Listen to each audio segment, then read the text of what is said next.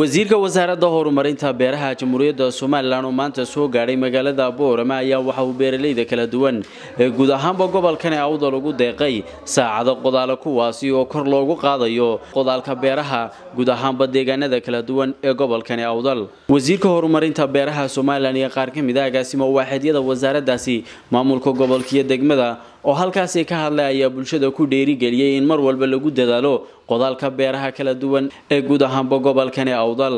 Islaamka run ahaantii beeruhu waa lafdhabartii ummadda eeriyadeennana waxaan u badannahay waa beeraley. Inta beerooday tahayna waad garanaysaan degmadii boorama lo odhan jiray.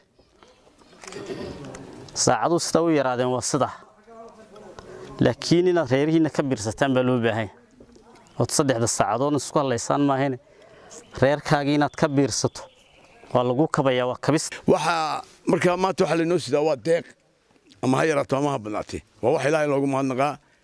Wasiirka iyo mas'uuliyiinta inoo waan ugu mahadnaqaynaa deeqdaas waa waxa weeye wasaa ladiin sheegay beeralaydaa leh. Waa cagafyadii waa saddexdaas saacadood. Waa sida loo kala liitaa markaa liito oo weliba dee aad idinku isqiimaysaan. Ilaahay ku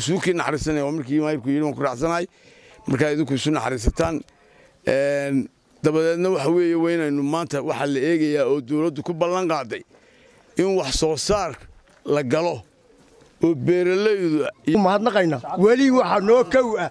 Intaa intaasaan jira siddeetan ilaa sagaashanno meelaha. Weli nin wasiir beereed baan ha yidhi oo noo yimiday maannaan arag. Horta waxa weeyaan sidaa ku maadsantasidaasaad runtii sidaa ay raggii igu horreeyey ni